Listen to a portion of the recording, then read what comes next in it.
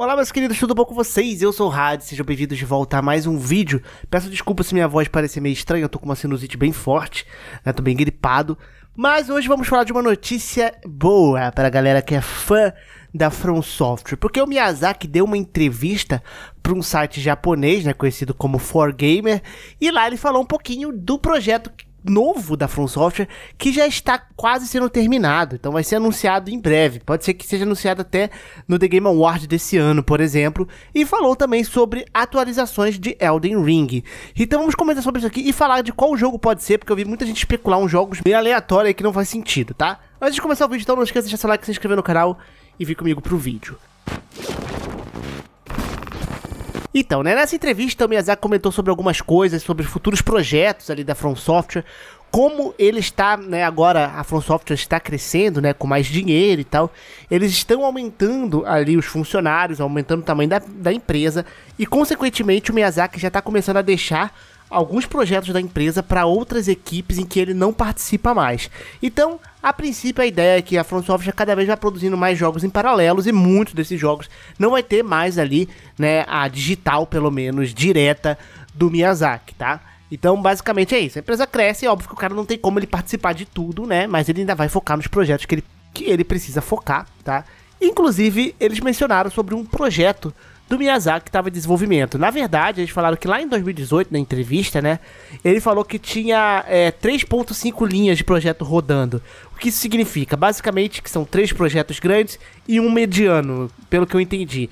Esse 0.5, né? Esse ponto 5 era o Deracine, que é aquele jogo VR, que era um projeto menor. E esses outros três projetos que estavam em desenvolvimento eram o Sekiro e mais dois. Um deles, a gente viu que é o Elden Ring, e tem outro que ainda não foi anunciado. E ele falou que esse que não foi anunciado já está nos estágios finais de desenvolvimento. Ou seja, né, por já estar em estágios finais de desenvolvimento, a gente tem ideia de que vai ser um projeto aí anunciado em breve, talvez no The Game Award, onde a From Software geralmente tende a anunciar. E aí a galera já começou, né? Você já sabe qual é o primeiro projeto que todo mundo vai, acha que vai ser.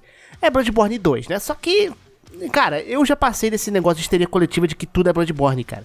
Eu já esqueci isso e eu acho que é bem improvável ser o Bloodborne 2. A gente tem vários motivos do que eu acredito nisso. O primeiro é que a Sony, né, desvinculou ali, fechou a Japan Studio, que era o estúdio que participou do desenvolvimento do Bloodborne, e pegou vários funcionários e jogaram para outros estúdios, principalmente pro Team Asobi, que faz ali o Astro Playroom. Então, eles já desfizeram o estúdio focado no Bloodborne. Outra coisa é que a maioria dos jogos da Sony parece que um pouco antes eles começam a ter rumores. A gente teve rumor do remake do 1, The Last of Us Part 1, por exemplo, e era verdade. Agora a gente teve uns vazamentos aí do God of War Ragnarok e tal. Então, alguns meses sempre começa aqueles rumorzinhos pela Sony. E cara, a gente não tem rumor de Bloodborne, basicamente, tá? Também não tem rumor de um remaster do Bloodborne no PC, por exemplo que seria algo que aí poderia até fazer um sentido, porque a gente consegue ver que a Sony tá meio com esse padrão. Vai lançar o parte 1 no PC do The Last of Us, e aí a galera compra no console 2, lançou o God of War, e o Ragnarok agora, por enquanto, vai lançar só no Playstation. Então essa ideia de vender o primeiro jogo para lançar um segundo na plataforma, ela tem feito isso. Claro que não é regra, por exemplo, o Days Gone não tem o 2 e foi lançado, mas vocês conseguem ver um pouquinho que ela faz isso. Então, se tivesse ainda um rumor forte, ou um anúncio de Bloodborne para um PC, a gente pode até especular, ah, talvez tenha e tal, né? Talvez possa aí vir um Bloodborne 2. Então, cara, eu, assim, eu gostaria, mas não criem muitas esperanças de Bloodborne 2, gente. Não, não façam isso, tá? Senão eu acho que vocês vão se decepcionar. Eu já me decepcionei muito com isso. Então, por já ficar meio carimbado, eu já tô bem cético em relação a isso.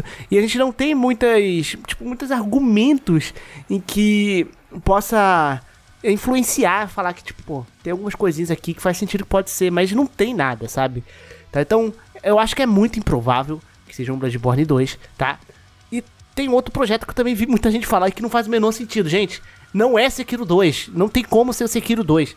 Muita gente fala de Sekiro 2. Como é que vai ser Sekiro 2 se o projeto já estava em desenvolvimento no final do Sekiro, velho? não faz o menor sentido. É FIFA o negócio, os caras mal terminam de desenvolver o jogo ou nem termina, já vai fazendo o próximo. Não, a From não tá fazendo Sekiro 2, tá? Quer dizer, não é esse projeto Sekiro 2, ela pode estar fazendo, mas se tivesse fazendo Sekiro 2, estaria no início ainda, porque esses projetos dela foi anunciado, esse que tá em final, na época ela na entrevista em 2018 com o Sekiro, tá? Então, não tem como, né? Antes do Sekiro, no caso, Sekiro saiu em 2019, mas já tinha anunciado o Sekiro. Então, cara, não tem como ser um Sekiro 2, beleza? Não, não tem, não tem, não existe isso. Só se a From tava, tipo, confiando tanto no taco dela que Sekiro seria muito bom e ela já preparou um 2, o que eu acho que é muito improvável.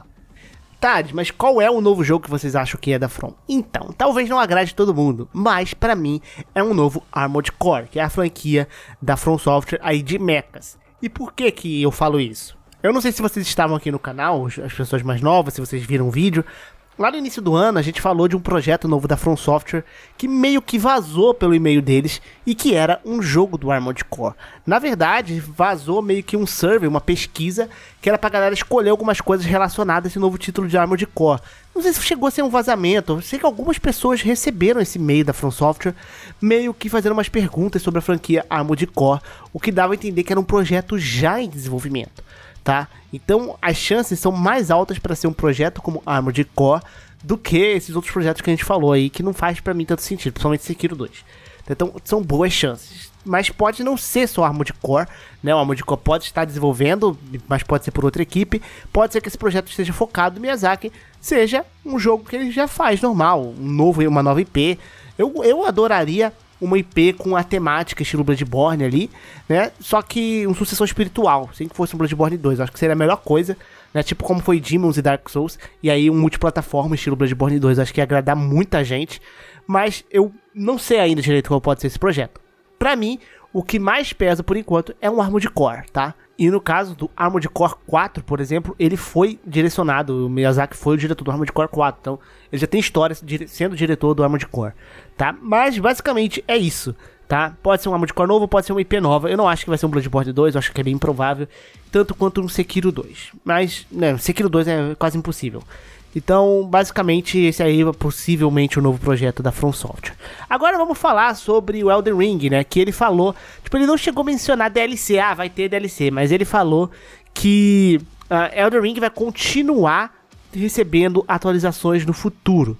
Eu não acredito que essas atualizações sejam apenas esses updates que estão sendo lançados para The Ring, que são updates bem simplesinhos, que agora, depois de meses de desenvolvimento, já não impacta tanto, é mais ajustes de bugs, tá? Então eu não acredito que vai falar, ah, vamos continuar lançando updates como se fosse correção de arminha. Eu não acho que seja isso. Eu acho que possa vir conteúdo aí. Mas eu sinto, pelo que ele fala ali, que eu acho que as DLCs não parecem algo que foi planejado inicialmente pro jogo, talvez. Eu acho que eles estão se sentindo um pouco pressionados em lançar uma DLC por causa do sucesso estrondoso do jogo. Que foi que a própria Kadokawa, que é a dona da From Software, falou. Que eles pretendem lançar mais coisas, mais atualizações de Elden Ring, né? Da mais por causa do sucesso. Então, eu não sei. Se tivesse sendo feito uma DLC, acredito que ainda vai demorar um pouquinho para sair mas ele falou que vão ter novas atualizações de Elden Ring aí. O que a gente pode esperar que vai ter mais coisinhas aí pro jogo. O jogo não vai ficar esquecido, né? Depois de um tempo vai parar de receber updates. Ele vai continuar recebendo updates por um tempo aí. Mas vamos ver quais, né? Se vai ser algo interessante ou não. Mas é bem interessante ver um pouquinho mais ali sobre a FromSoft, que ela é bem fechadinha, né? E que a gente já tem um projeto finalizado quase deles, que já tá para ser anunciado, já já vai ser mostrado basicamente do jeito que ele fala. E vamos torcer para que seja um Souls que a gente sempre gosta. Eu acho que é o que os fãs da franquia da FromSoft mais querem. Embora Armored Core tenha bastante fãs, não chega nem aos pés dos fãs Souls, né? Mas eu, eu mantendo o pé no chão, eu acredito que seja um Armored Core, tá, galera? Enfim, deixe aqui nos comentários a sua opinião, eu fico por aqui. Um grande beijo, um grande abraço, um beijo no popô e tchau!